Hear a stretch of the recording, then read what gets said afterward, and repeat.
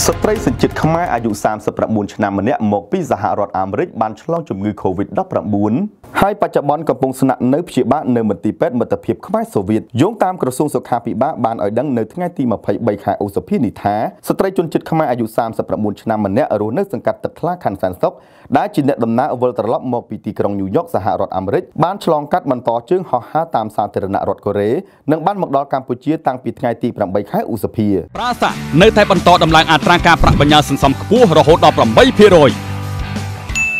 តាមព័ត៌មានផ្ដល់ដោយស្ត្រីរូបនេះគឺគាត់បានទៅការពីខែកុម្ភៈរួចបានបន្តនៅទីនោះមួយរយៈដោយសារមានការបិទជើងហោះហើរត្រឡប់មកវិញមិនបាននៅពេលមកដល់កម្ពុជាវិញគាត់បានធ្វើការរស់នៅដាច់ដោយឡែកដោយខ្លួនឯងហើយបានទៅពិនិត្យសុខភាពនិងធ្វើតេស្តនៅមន្ទីរពេទ្យមិត្តភាពខ្មែរសូវៀតនៅថ្ងៃទី12ខែឧសភាដោយសារគាត់មានបញ្ហាក្អកតឹងច្រមុះនិងស្ងួតបំពង់កដែលទទួលបានលទ្ធផលអវិជ្ជមាននៅពេលនោះសូមជម្រាបថារហូតមកដល់ពេលនេះកម្ពុជាមានអ្នកជំងឺឆ្លង2អ្នកជាថ្មីហើយកំពុងសម្រាប់ព្យាបាលនៅមន្ទីរពេទ្យបន្ទាប់ពីបានព្យាបាលជាចំនួន122នាក់នៅទូទាំងប្រទេសកម្ពុជាកាលពីពេលថ្មីថ្មីកន្លងទៅនេះខ្ញុំបាទមាសតុលាពីកម្មវិធី60 Burst